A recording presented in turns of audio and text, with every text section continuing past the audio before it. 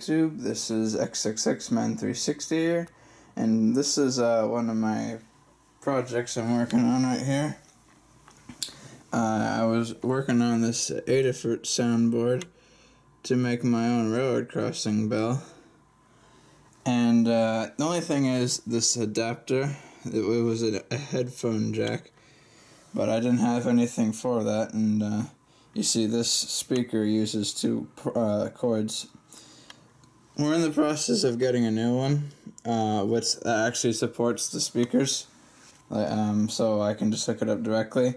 Uh, but for now, I had to use my snap circuits and make a whole circuit uh, designed just to take in the audio. Now, um, be warned that this is a bit bit staticky and loud um, compared to the good quality it could have been if it was hooked up directly. So, uh, take a listen.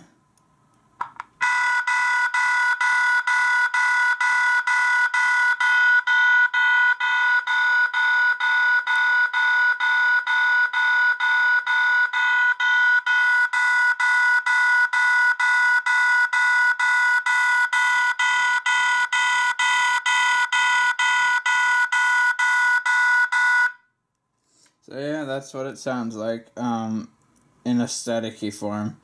Um, this is what it's actually supposed to sound like.